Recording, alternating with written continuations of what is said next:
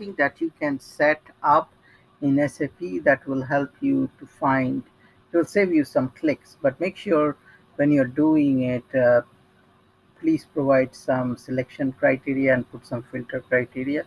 That's the reason they don't allow you to change that, but here is a way you can change it. So, so here if I go to TCDOV table and I want to see all the entries. So by default, if you see, the maximum number of hits is 200 so if so by default what people do is they click on it and they say oh only 200 entries. Okay let me go back and do something. So how you can set this up? Uh, so there, there is a way you can set it to default to something more.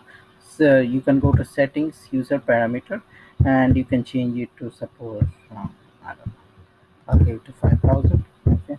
And uh, now press this okay so here it's now 5000 now if I go here and every time now from now is 5000 same thing you can do for the width. So if I go and I execute this and you will take some time but the width is you see there might be more fields that is there and I need to click 9999 to get more fields. In this case we don't have extra fields.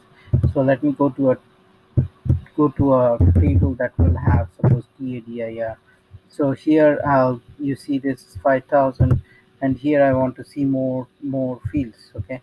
So uh, so it's running 5000 entries so it's now coming. So here now you, I want to see more fields on this side.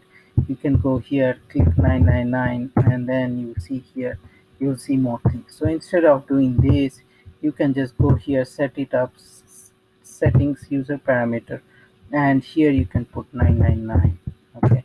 And that's it. After that every time you come and you click on it you didn't have to click change anything. It comes like this and you can see more stuff. So that will help you some clicks you know at least five six clicks or sometimes it causes confusion and say oh i have so many entries now.